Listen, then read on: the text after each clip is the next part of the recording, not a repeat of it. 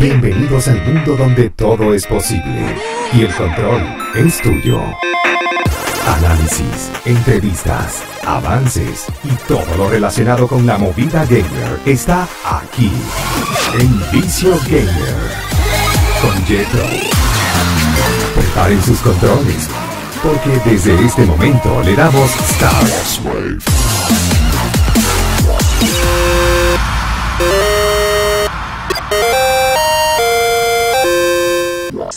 6 y 16 de la tarde. Esto es Vicio Gamer. ¿Por dónde? Por la 100.7 Digital FM Caracas. Arroba el Vicio Gamer 88 en Twitter. También en Instagram, en Facebook, en, perdón, el Facebook. En, Facebook, eh, Vicio Gamer FM. El canal de YouTube, el Vicio Gamer.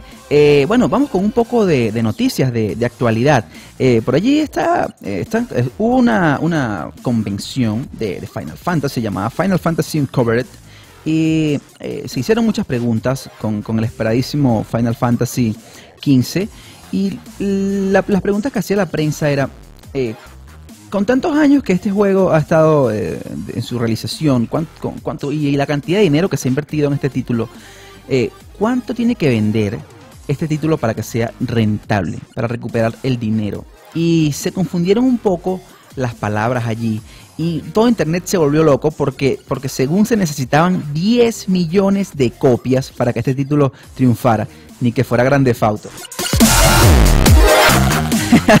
no, no, no, no, prometo no, no, burlarme más de él, le he hecho mucho bullying, pero eh, bueno, eh, al, parecer, al parecer la gente de, Square Enix eh, tiene que vender muchísimas copias y el, lo que quieren vender, es, esa es la meta que tienen, 10 millones. Obviamente para recuperar se necesite menos, pero ellos quieren vender 10 millones para que sea el juego definitivo.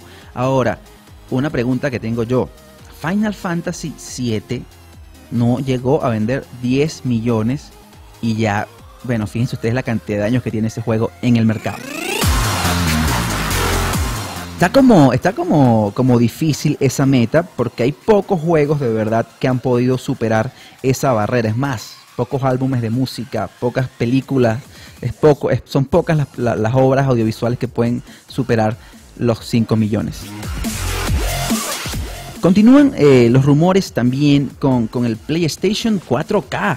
Eh, bueno, esto ya, esto ya me tiene un poco harto porque hay tantas, se han dicho tantas cosas y hay tanta preocupación porque Sony lance una nueva plataforma, un nuevo PlayStation que al parecer eh, va a, rescalar todos los juegos a esa definición, a 4K y que va a usar el cable HDMI 2.0. Es decir, que si no tienes ese cable no podrás eh, utilizar el, el aparato porque igual que el televisor, no vale la pena comprar algo en 4K y tú con un televisor en la casa a 720p, eh, por ejemplo. Pero bueno, el procesador eh, comentan que es de el doble de, capacidad que tiene el primer, el primer procesador del PlayStation 4 y hay más o menos los rumores dicen que el, aparato va a costar entre 400 y 500 eh, dólares y ese, bueno, el precio no está mal, es parecido a lo que cuesta el, PlayStation 4 ahorita, ¿no? Los 400 dólares, pero va a estar más enfocado hacia la, hacia la realidad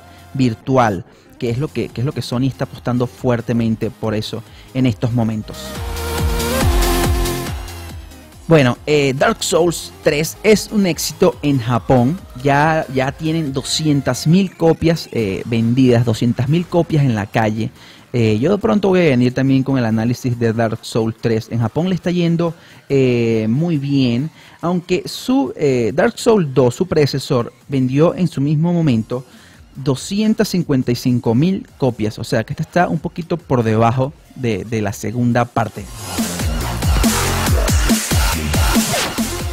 Bueno, y en Xbox One, bueno, este lo dejaron como la guayabera. Esto no, este, en Japón el pobre Xbox One, este, apenas eh, en Japón han vendido 60 mil unidades. O sea, imagínense ustedes entonces la cantidad de juegos que habrán podido eh, vender, ¿no? De Dark Souls entonces, bueno, ni siquiera está en la lista de, los primeros 50 juegos de, Xbox en Japón. Muy mal le va a, Microsoft siempre en Japón. Esto no es nuevo. Eh, ya aquí en el estudio está Donuts Killer. Ella es la especialista en, anime, en todo lo que eh, viene del, sol, del país del sol naciente. Voy con un poco de música y, y pronto, pronto ya la voy a tener aquí. Vicio Gamer. De gamers para gamers. Yeah. Hola, ¿qué tal? Ajá, y ahí está este Donuts Killer, ¿no? Eh, ya, ya llegó, ya está aquí en el estudio y para todos los fanáticos de- del anime, eh, los que quieren iniciarse también en, en- en la- en este mundo, ¿no? En, todo este- en toda esta movida, la tengo aquí a ella, la voy a tener eh, siempre, bueno, periódicamente en el programa para que nos diga la- todas las recomendaciones. Sé que ella también hay muy buen material y bueno, hola eh, Donuts, ¿cómo estás? Hola, ¿cómo están?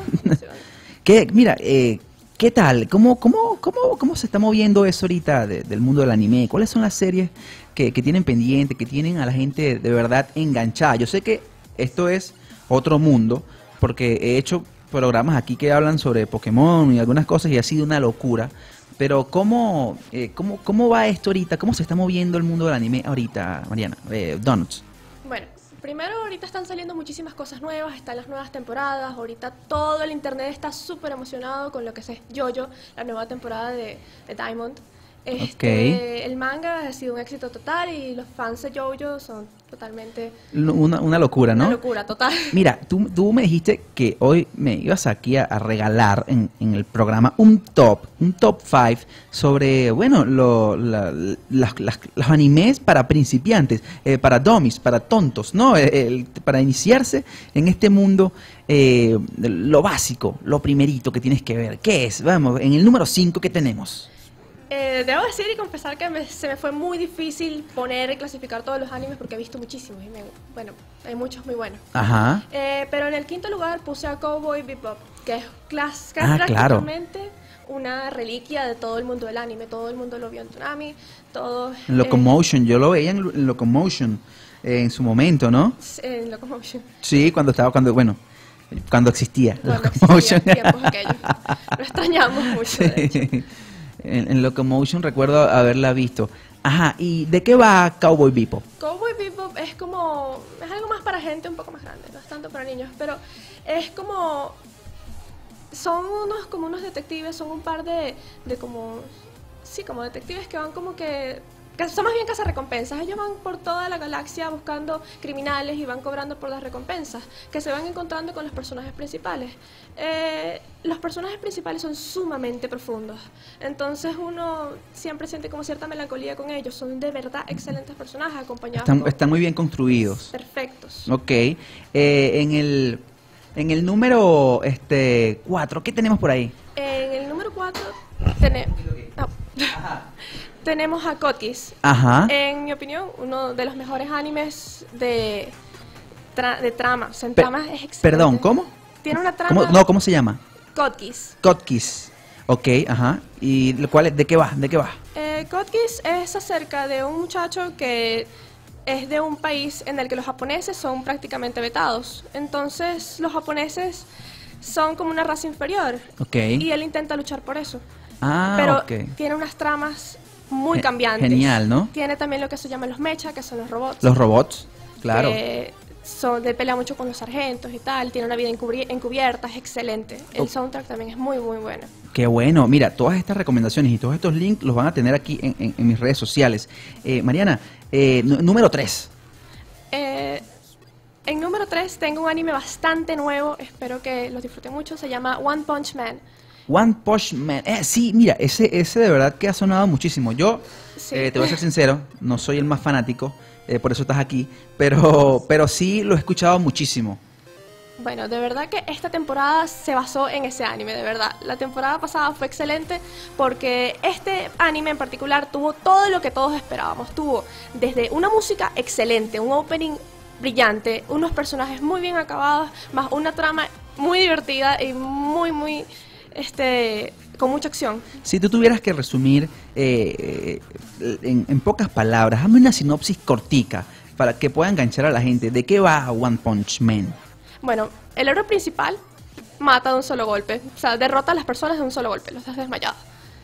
Y Lo- ah, por eso es que es One Punch Man. Sí, por ok, ok, bueno, qué tonto soy yo, no. ok, ajá. Y bueno, eh, él tiene como unos compañeros. Él lo que quiere ser es un héroe. Él quiere ser un héroe, pero el más grande de todos. Entonces se ve todo el camino que él transcurre hasta Y- ser o no ser el héroe. más El héroe. Ah, ok. Bueno, eso está súper cool. Eh, estoy conversando con Donuts Killer. Ella es especialista en, en todo esto, lo que tiene que ver las anime, las series japonesas. Eh, vamos, estamos haciendo el top 5 de animes para principiantes y vamos por el número 2, que es...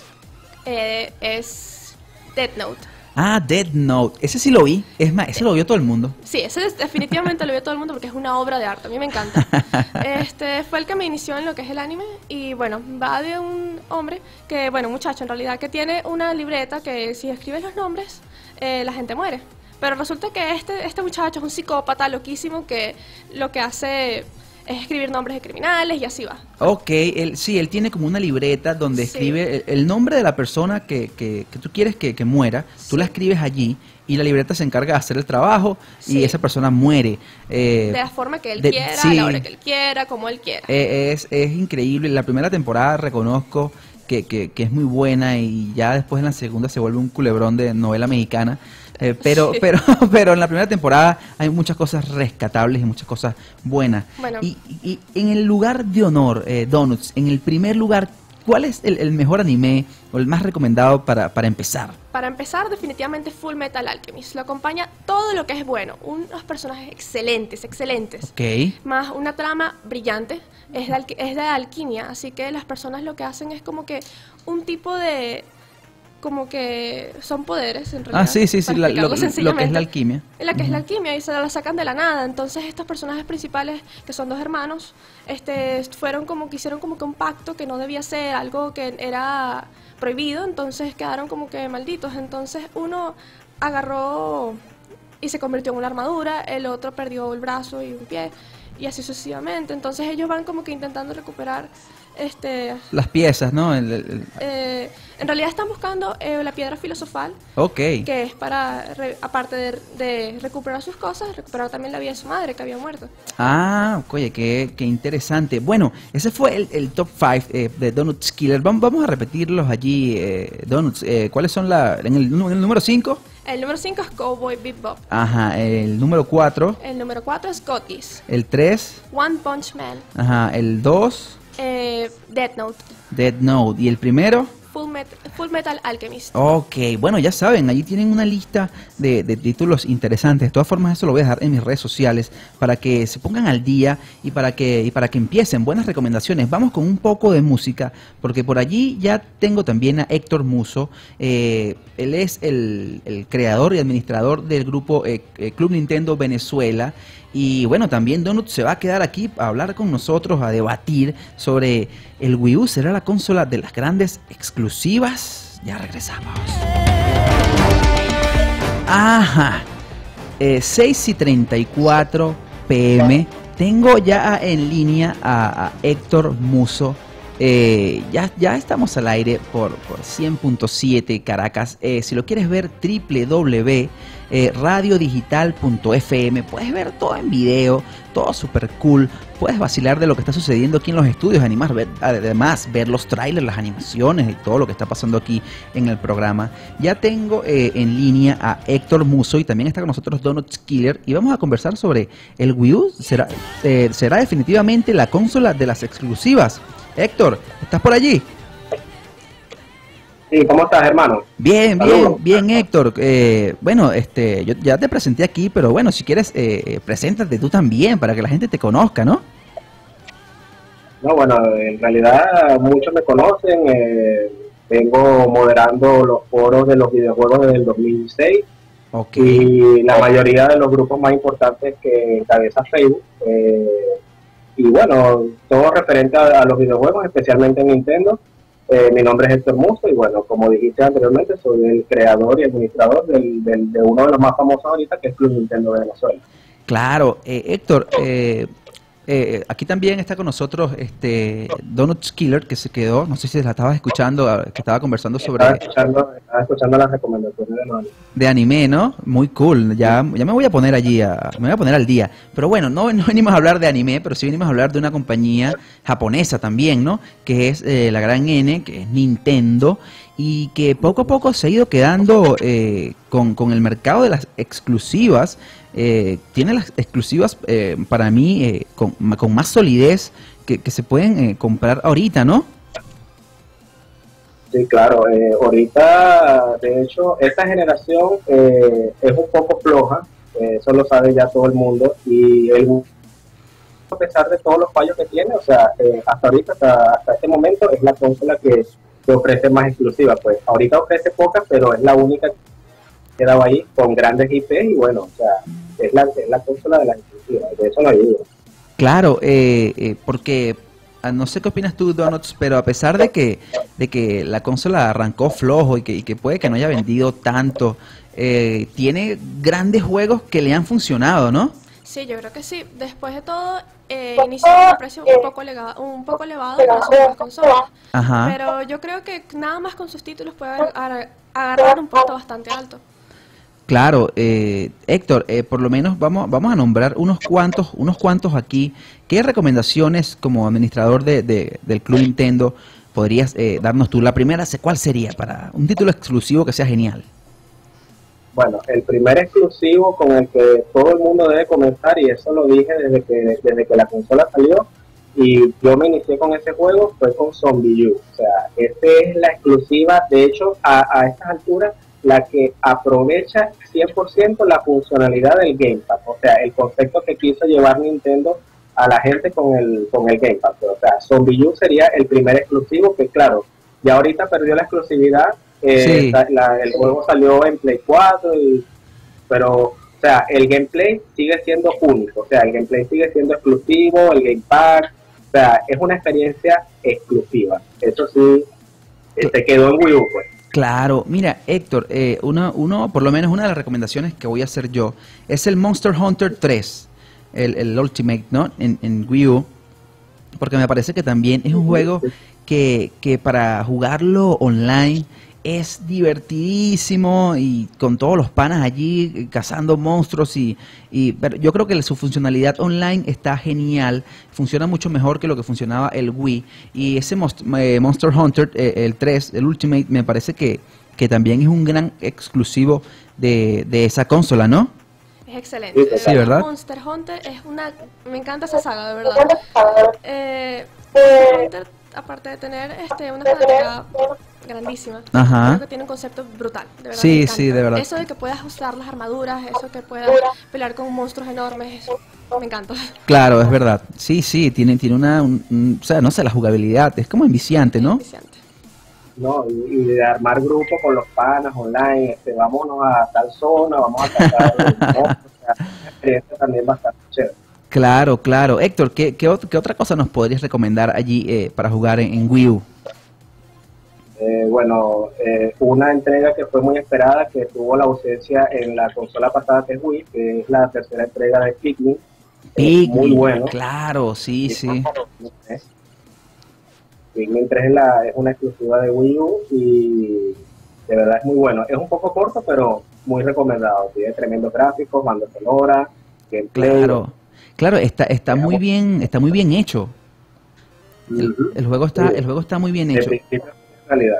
Claro. Y hay, otro, hay otro jueguito por ahí eh, que es el Capitán Toad, que mucha gente no le gusta, hay otros que sí, pero o sea, basta jugar los tres primeros niveles, o sea, es un juego totalmente exclusivo de Wii U y la verdad vale la pena, o sea, en los tres primeros niveles el juego te engancha y nada, a terminar. Es verdad, es verdad. Capitán Toad eh, está, está como, como infravalorado, pero el juego es excelente, es muy bueno.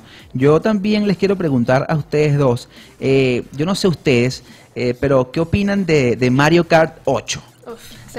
me encanta. Yo creo que esa es la exclusiva más increíble. Ese es el juego. si hay que resumir la palabra videojuego, eh, yo creo que debería ser Mario Kart.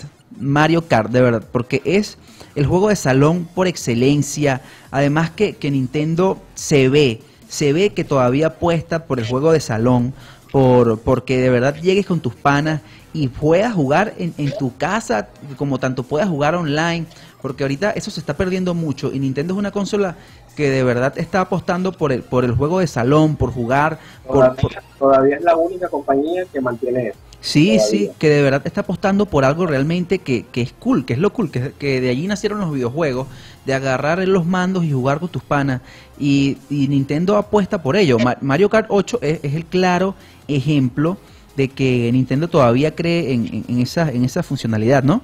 Más esa nueva cosa que tienen ellos, que es del Family Friendly. El Family Friendly actualmente en Nintendo es un meta. Eso. Eh, están haciendo todos sus juegos en base a eso. Están haciendo todo en sus viejos y en sus nuevos fans. Y lo, por lo que veo les ha funcionado muy, muy, muy, muy, muy bien. ¿Tú qué opinas de eso, Héctor? Bueno, lo que te iba a decir respecto a Mario 8, que fue un título eh, que obligó a muchos de mis panas, bueno, de los que la, la, gran gente que yo conozco, a comprarse el Wii U, incluso gente que no sigue a Nintendo como tal, y cuando salió el juego compraron eh, la consola. Y es eh, exacto, fue un juego muy esperado, pero tuvo sus altibajos. Eh, claro. Por lo menos el modo batalla vino con mapas que, o sea, no le dedicaron los mapas especialmente como hacían en otras entregas Uh -huh. Pero el lado bueno incluyó el chat de voz online. Ajá. Claro, solamente amigos, pero ya eso fue un gran avance. Y claro, claro los gráficos, eh, la antigravedad, o sea, todo, todo. No, el juego Excelente. es un conjunto súper redondo, pero vamos sí. eh, ahorita con un poco de música y ya, ya, ya vamos a continuar. Estamos conversando aquí, debatiendo si, si el Wii U de verdad es o no es la consola de esta generación con, con los verdaderos exclusivos. La única que de verdad puede decir que tiene exclusivos. Vamos con, con esto y ya regresamos. No permitas que te den game over. Sigue pegado a Vicio Gamer con Jetro y continúa jugando.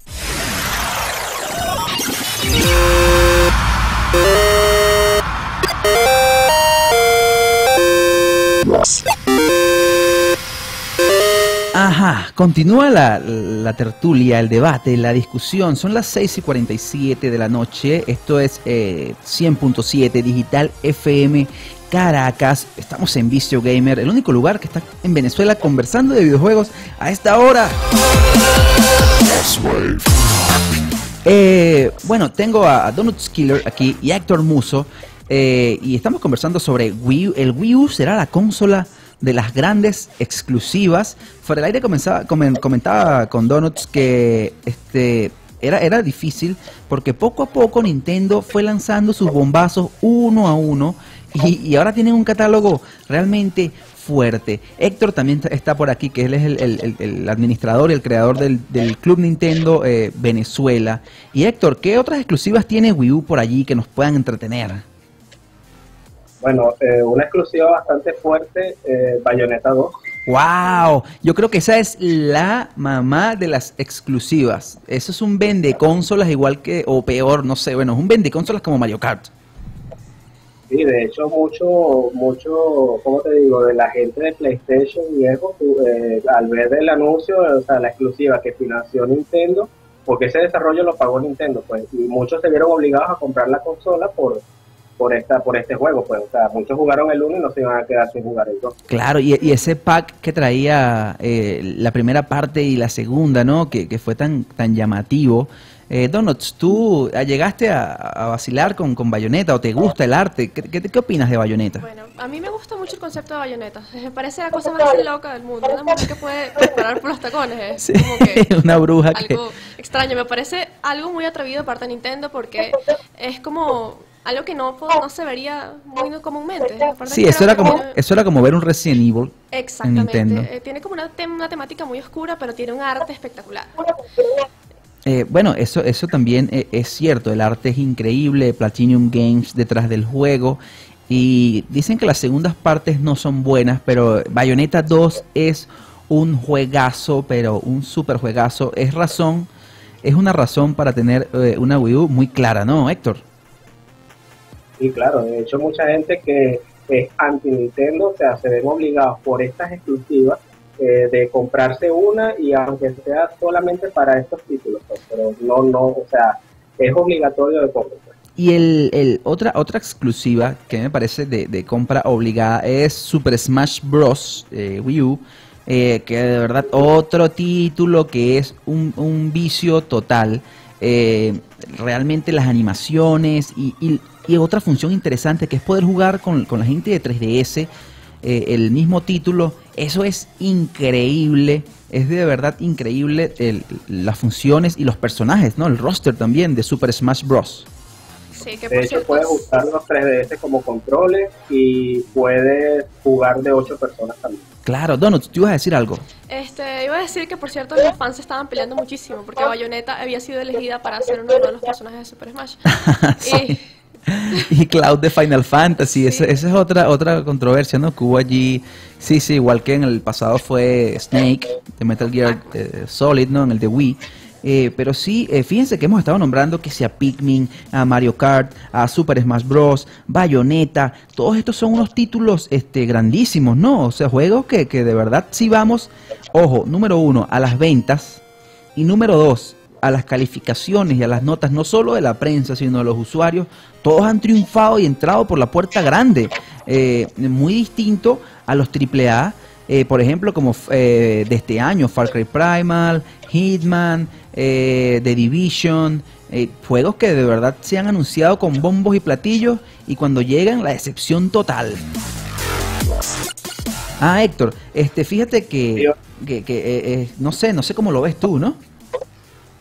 Sí, vale, es que es lamentable, por eso digo que esta generación es bastante floja, o sea, gastan millones de dólares eh, en marketing y toda la cosa, y de verdad que el juego promete mucho, y tú ves el trailer y cuando ves, o sea, estamos hablando de otra consola y dices, ¿qué es esto? O sea, en cambio Wii U va como que más humilde, con juegos Ajá. más, o sea, pero las exclusivas son las que, bueno, pues el, el fuerte de esa consola. Las que patean. De hecho, un dato ajá. curioso, un dato curioso fue una exclusiva que, que tiene esta consola Wii U, que es el, el Tekken Tag 2, que tuvo su versión exclusiva con Ah. contenido de Nintendo.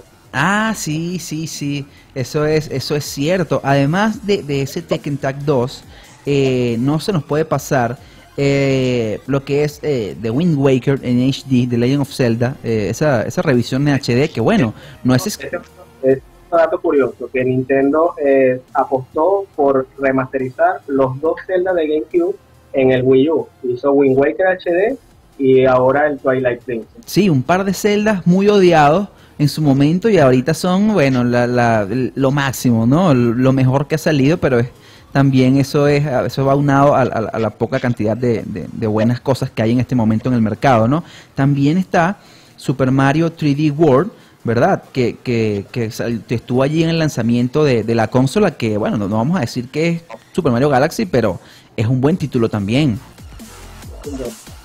Sí, sí, son buenos, son buenos, son buenos títulos que de verdad eh, llaman muchísimo. Eh, y también tenemos al Donkey Kong Country, el Tropical Freeze. No sé si, si alguno de ustedes lo jugó, pero también es un título complicado, ¿no, Héctor?